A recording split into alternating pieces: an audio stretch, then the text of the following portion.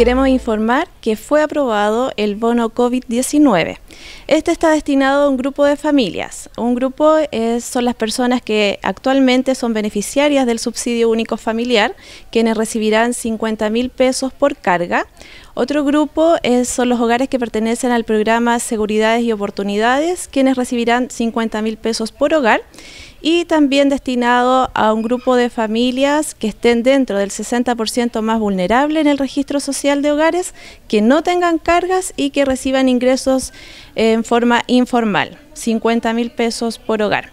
Las dudas que tengan, está habilitado el teléfono de la oficina, que es el 722-326-845, o al correo electrónico jenny.abarca.msanvicente.cl segundo es que hay una información acerca del registro social de hogares que ahora no sería necesario esperar una visita domiciliaria del personal municipal.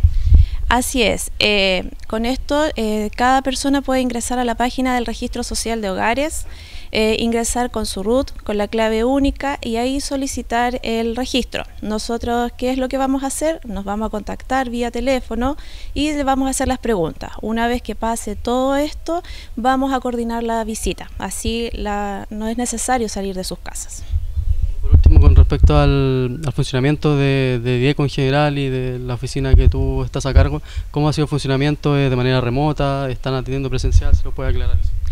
Eh, solo por teléfono, eh, los teléfonos están publicados en la página de la municipalidad y a través de correo. No duden en llamar, estamos resolviendo todas las dudas, tratando de atender lo mejor posible y los documentos nos mandan a través del correo, a través de un WhatsApp. La cosa es que lo hagamos más simple no hay atención presencial, solo teléfono y el correo electrónico.